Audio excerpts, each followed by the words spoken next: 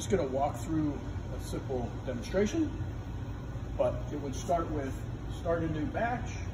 You're gonna get a screen. You can give it a name.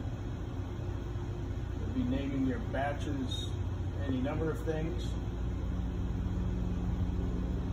Once we continue, there's the batch we're running. It's going to want you to scan. The part numbers are going to come up here based on your code. Then we're going to put it in the machine.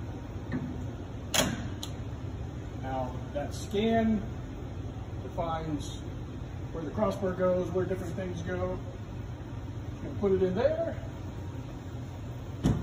Close the door. Press the reset. CE is ready. It's safe. Double pads. Clamps, clamps. Crossbar lowers, clamps. And the next it'll run a gas test and run the two speeds you've requested. It will then do a pass-fail through the PVP and tell you whether it's good or not. And then you can do the next part.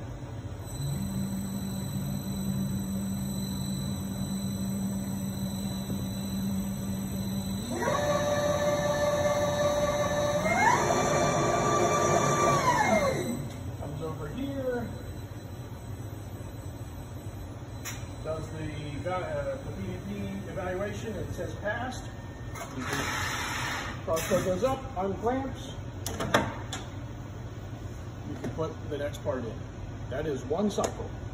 There you go.